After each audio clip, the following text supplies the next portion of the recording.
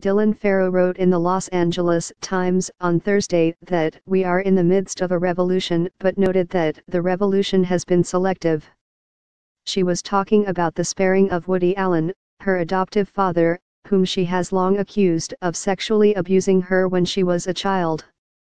Far from being ostracized like Harvey Weinstein, Allen remains a Hollywood icon who still makes movies with big-name actors, such as the recently released Wonder Wheel, starring Kate Winslet.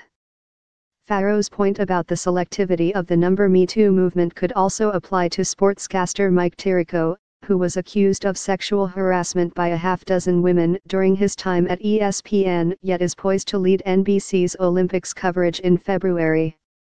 A 2001 book, ESPN, The Uncensored History, by sports columnist Mike Freeman describes a culture of sexual harassment, drugs, and gambling at the network the book details a 1992 incident in which a female production assistant says Tirico stalked her.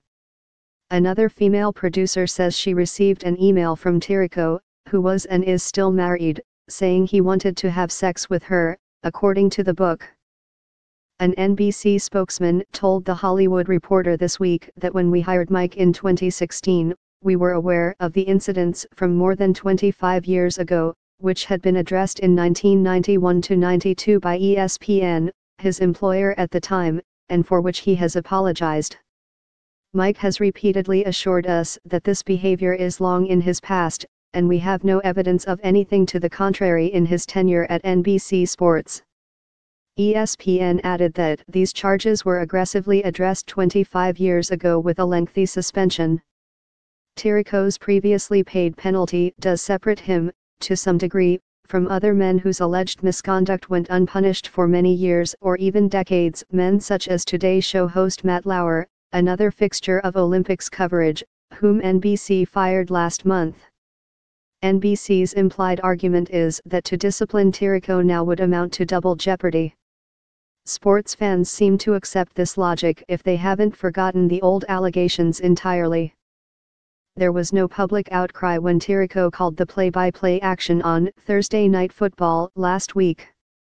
Shortly before Tirico went on the air, however, Vanity Fair reported the following, in the past week, top-level managers, including Chairman Andy Lack, NBC News President Noah Oppenheim, and editorial senior vice president Janelle Rodriguez, have hosted nearly 60 HR-oriented meetings with small groups of employees in order to provide reassurance and, potentially, to get ahead of any other possible scandals that could be lurking beneath the surface. To be clear, there is no indication that Tirico is the subject of a scandal lurking beneath the surface but the executive's efforts described in Vanity Fair by Joe Pompeo and Emily Jane Fox suggest that NBC, which also recently fired political analyst Mark Halperin amid sexual harassment allegations, is acutely aware that another bad surprise would be hugely embarrassing. Given Tirico's history, a single new accusation could make it much harder for the network to stand by the man it is counting on to succeed Bob Costas and Al Michaels.